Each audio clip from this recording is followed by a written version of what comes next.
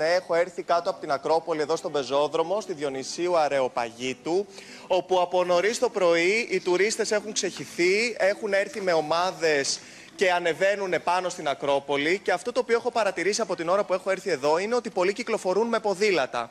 Και φυσικά να σας πω ότι οι περισσότεροι φορούν και κράνος πάνω στο ποδήλατο. Ε, εδώ καιρός δεν είναι προς το παρόν κακός. Έχει ήλιο, έχει λίγη συννεφιά, αλλά αρκετή ζέστη.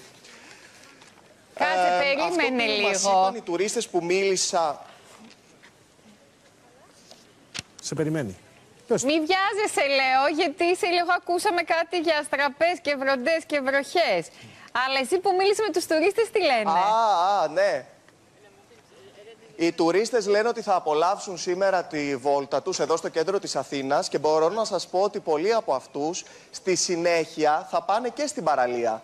Δηλαδή θα μετακινηθούν και όπως μου είπαν οι περισσότεροι ότι τους εξυπηρετεί πολύ να χρησιμοποιούν τα μέσα μαζικής μεταφοράς, ότι δηλαδή είναι πολύ εύκολο για εκείνους διότι είναι συνηθισμένοι από τις χώρες τους ότι μπορούν πολύ εύκολα και οικονομικά να κάνουν μετακινήσεις όπου θέλουν, από τη μία μεριά της πόλης στην άλλη. Και έτσι πολλοί μου είπαν ότι θα, θα πάνε και στην παραλία νο- αργότερα το απόγευμα. Φοβούνται λίγο τον ήλιο, ωστόσο όμως ε, νομίζω ότι έχουν προετοιμαστεί με αντιλιακό κτλ.